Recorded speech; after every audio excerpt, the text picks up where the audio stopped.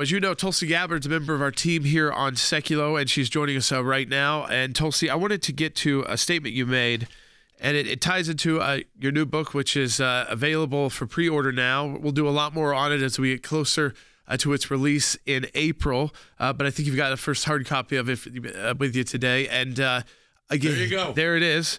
You and can, it's a you pretty, can put it up longer than that. It's a there pretty, you pretty bold title. It's For Love of Country, Leave the Democrat Party Behind.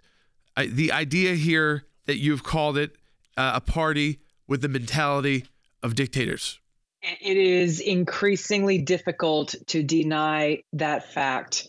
When we have a political party that is in power currently in the Democrat elite, using every arm of government available to them to undermine our freedom, our freedom of speech, our right to cast our vote for the candidate of our choosing to serve as president and commander in chief, and weaponizing the Department of Justice and law enforcement agencies and the national security state, all to try to rid themselves of the major political opposition in this presidential campaign.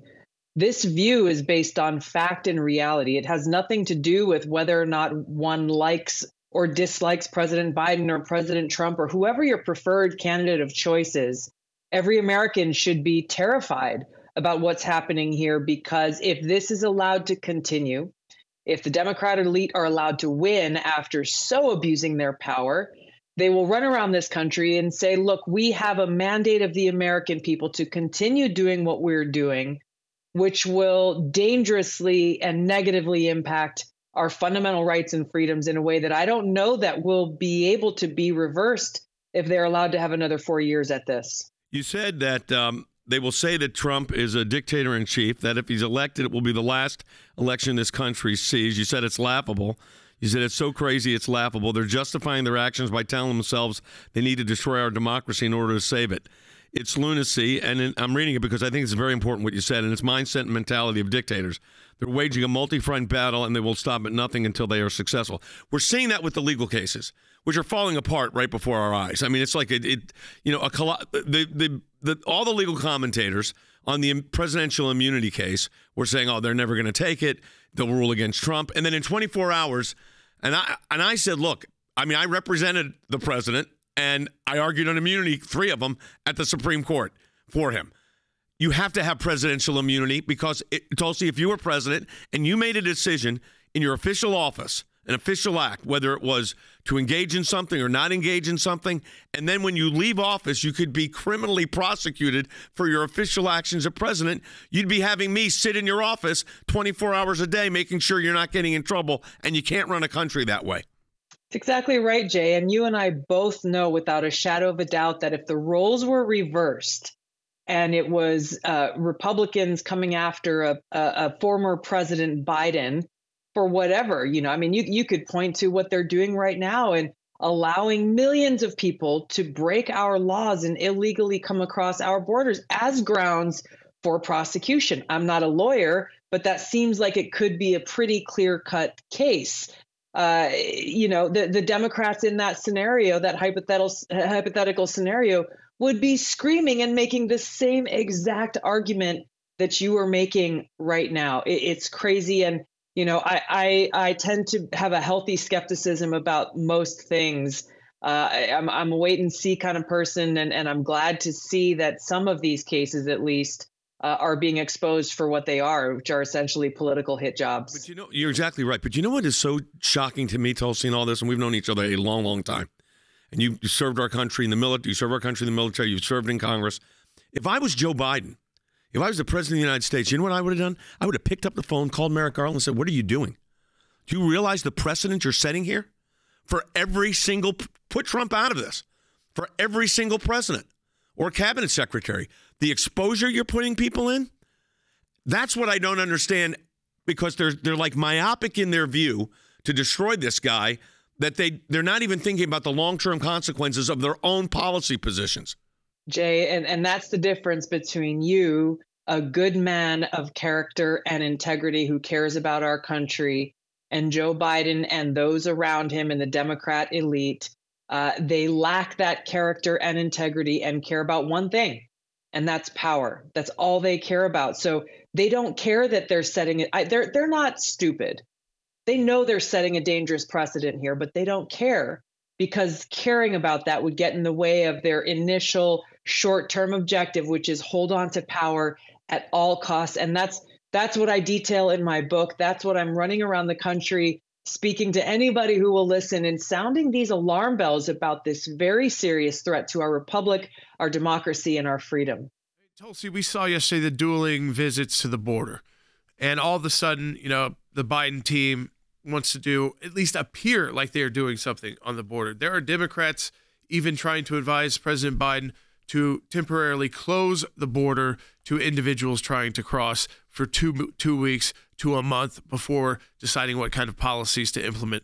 They've had 4 years to implement these policies that would have saved thousands of Americans' lives. Uh, the number one killer is the drug that comes across that border of, of Americans between 18 to 45 is fentanyl.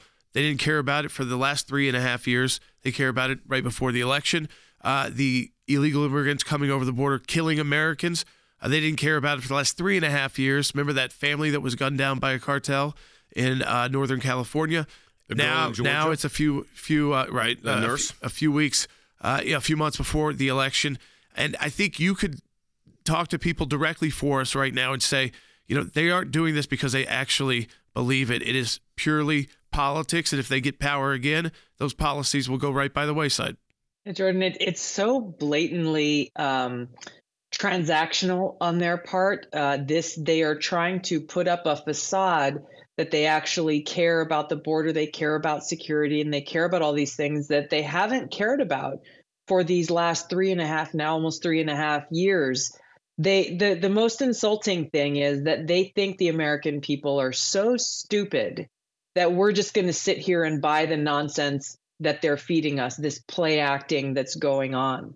Uh, I heard a, a, comment that came from President Biden's former communications director yesterday, where she was talking on CNN about how Democrats need to show that they care more about how people in our country don't feel safe. Then she went on to say that she doesn't believe what President Trump is saying, that there are actually criminals running around committing crimes, uh, both against businesses and violent crimes uh, in this country. She's like, I don't buy it. But Democrats need to show that they acknowledge that people feel unsafe. What she said exposes them for who they are. They don't care about reality. They don't care about solving the problem. They don't care about the threats to our safety and security, both in our communities and at our borders.